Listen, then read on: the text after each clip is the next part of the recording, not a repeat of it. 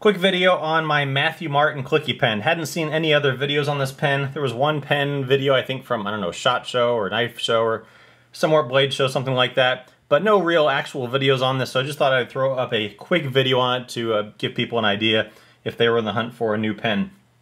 I carry pens to work every day. Because I use them so much, I don't mind spending a little bit more on a nicer pen that I'm not going to lose, that I'm going to get a lot of use out of. And uh, I saw this pen, the Matthew Martin Clicky pen, I much prefer Clicky pens. I hate dealing with the caps because it's just too much effort to take the cap off, but I just, I just don't have the the time, the effort to put that much into my pens. So I love it when I see these Clicky pens. This one actually pretty reasonably priced, $60, and it's a relatively small pen. This one is made of copper.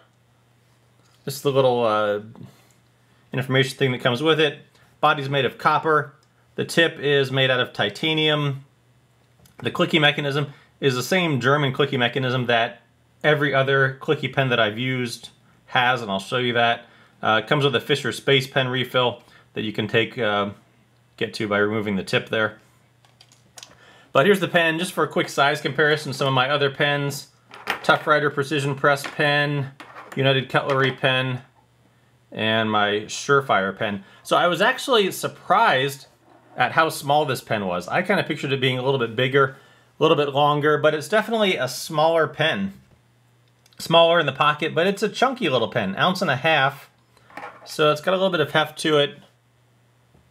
And as I've come to use it, I actually like the small size. You know what I call this a tactical pen? Nah, probably wouldn't. I mean, okay, could you use it? Yeah, you could. It's a, it's a stout little pen, but I don't really view it as that. I just view it as a, a little bit of a nicer pen that I use and carry every day. Mentioning the, the clicky mechanism, we'll get this one out of the way, because the clickies here are all exactly the same, as you can see. They're all this apparently German-made clicky mechanism that all these pens have. And it's a nice, smooth mechanism. Works really well. I guess that's why everyone uses it. The pen comes in a couple different materials that you can get it. This one is made of copper, like I like I showed you, so I guess you know, this, this develops a little bit of a patina to it, which maybe that means, I don't know if this will eventually look like the Statue of Liberty, green with, you know, the copper, I don't know. Uh, you can see here, from where I keep it in my pocket, I usually have a, a, knife on this side of it, so it gets a little scraped up right here. Uh, I don't mind, I kind of like the patina that it's forming. I've had it for uh, a couple weeks now. Something that I'm semi-crazy about or not is the O-rings that it comes with. It comes with no O-rings on it, with just these indents right here where the O-rings go. For me, those are a little bit, a little bit sharp in use. I want something a little bit more comfortable. They include these O-rings with it separately, and you can just uh, just put those on there.